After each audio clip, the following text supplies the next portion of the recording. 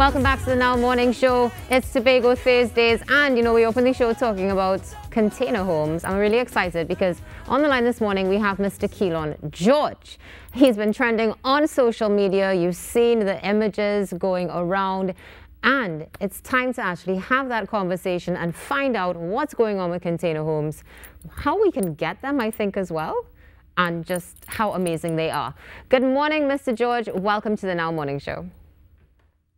Good morning, good morning, good morning. Thanks for having me.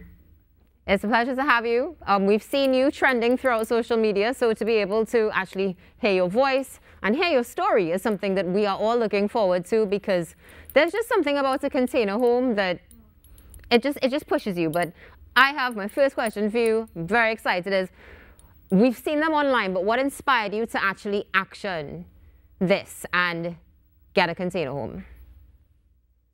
Well, I think my inspiration came just like maybe how anybody else's inspiration. I saw them online. I was intrigued. I was, you know, enthralled into it, and then I was like, you know what? Let me just try this and and make it happen. Yeah. You, you definitely have made it happen. And I know in Tobago, now, up until now, a lot of people, they've had additions to their houses with containers, but they haven't actually made their entire home from a container. So what was that like for you, just looking at this container and saying, okay, I'm going to live in a box? Um, it was, um, it was, it was, uh, it was interesting because um, it's a test of creativity because you know with the containers you don't have as much flexibility as if you were you know building a house. So you really have to be in tune to all of the little spaces that you can use to make the floor plan functional. Um, so it was a challenge. It was it was it was very fun to, to accomplish, and I enjoyed the process. What was one of the biggest challenges that you faced in this process? To be honest with you, one of the biggest challenges was looking at inspiration online and then making a concrete decision about okay, this is how I want it to look. Because you know, as I was doing it, I was, you know, looking at things online, and then every every day online, I'll see something that I like, and then I want to implement that into it. And I, it came a certain point where I just had to make a decision and say, all right, this is the floor plan that I'm going with, and this is how we're going to execute it. Ooh, we just have some pictures there. It looks fabulous, boy. Oh, is that mm -hmm. your mm-hmm. cat? That is my cat. That's one of them, yeah. One of them. Okay, great. So for those who are concerned that it may not be pet friendly, container homes are pet friendly. So we know the benefits of living in a container home, but what to you are some of the cons of living in a container home? Look at that. Um, you know, people have asked me that, and um, I can't really think of of you know a serious con. One of the only cons is making sure that you insulate the container correctly so that way you can regulate the temperature. So when it's hot outside on the inside it's still cool. And we did that with this container. So we have two mini splits in here. And during the daytime on a hot day the inside is cool. Um, and even during the nighttime when it gets a little chilly it's still very cool on the inside. Um, so i really can't think of any serious cons because there's a lot of pros that kind of outweigh anything that may be considered a con Okay, and what about actually um, like challenges, electricity, water, getting all of that installed? How has that been? What's that process that, like?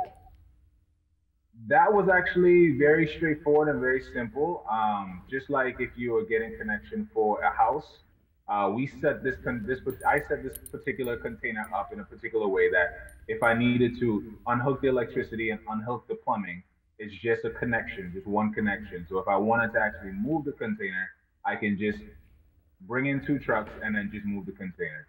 So you know, doing WASA and doing you know um, electricity was was a breeze.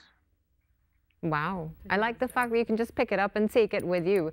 Now, that now brings us to cost because, you know, one of the things that we see these days, it is challenging to get a mortgage. It's not cheap. So how much would you say you save on this? Like, have you seen a marked savings on this container home versus getting an actual, like, foundation structured house?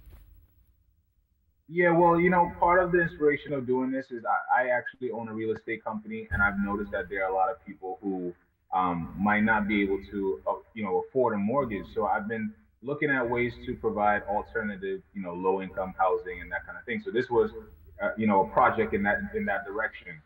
Um, as far as pricing goes, um, you have a lot of flexibility with these containers because you can either buy a container for somebody who supplies it or some people know people who have containers and can get it for you know for very cheap because it's just sitting somewhere on, on a piece of land not doing anything. Um, and as far as the inside goes you really have the flexibility because you can do you know high end finishes or you can do low end finishes. So you can range depending on what you're doing with the floor plan you can really range between i would say maybe about 150000 to maybe about 200 or possibly even lower than that if you do all the work, um, you know, yourself.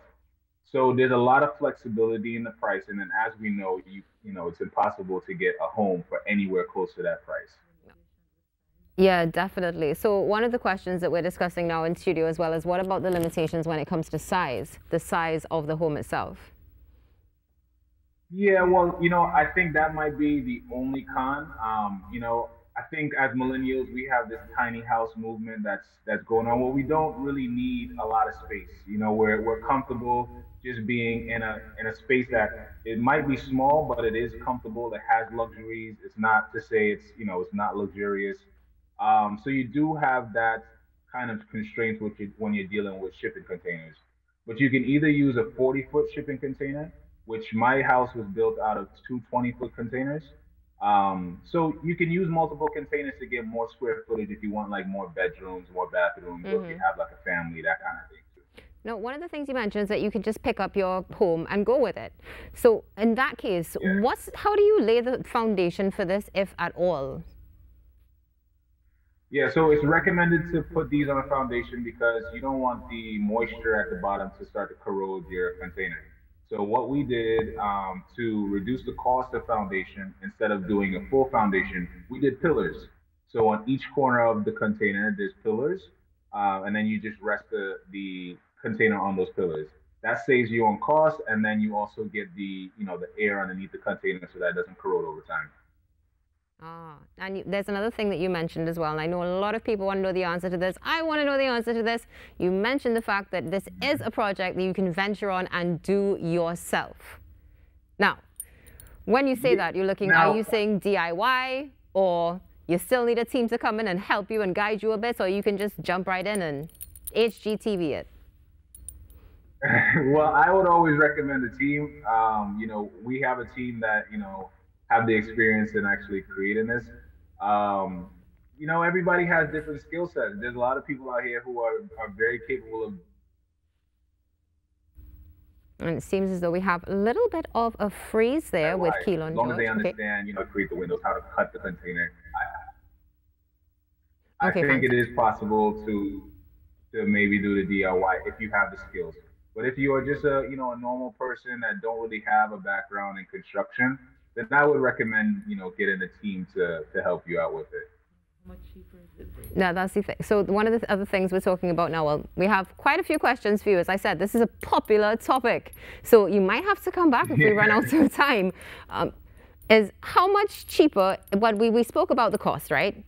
But how much cheaper is it when you do it yourself as well, would you say? Well, um, it would be, I would, if I had to give a percentage, I would say maybe about maybe 25 to maybe 30% cheaper because, you know, you cut out the cost of labor. Mm-hmm. Um, so I would say maybe about 25% cheaper.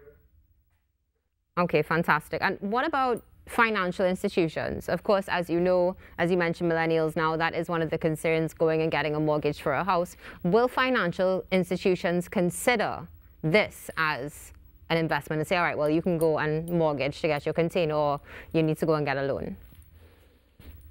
Okay, so that is the, the question of the hour. Um, I've been trying to find financial institutions that would be able to, you know, put, put, put forth a loan to be able to help people build their shipping container.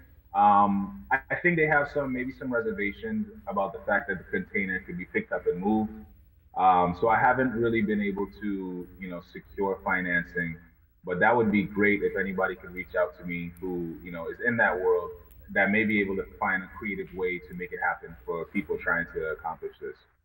Definitely a key question that we are going to need an answer to. Now, another thing, I tell you, so many questions.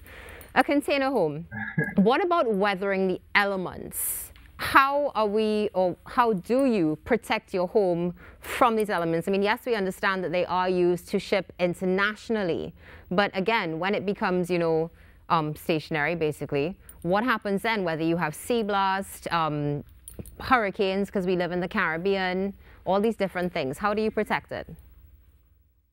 Well, the good thing about container homes or containers in general is they're very, very durable. They're made to be in all kind of different climates, all kind of different weather, all kind of different situations.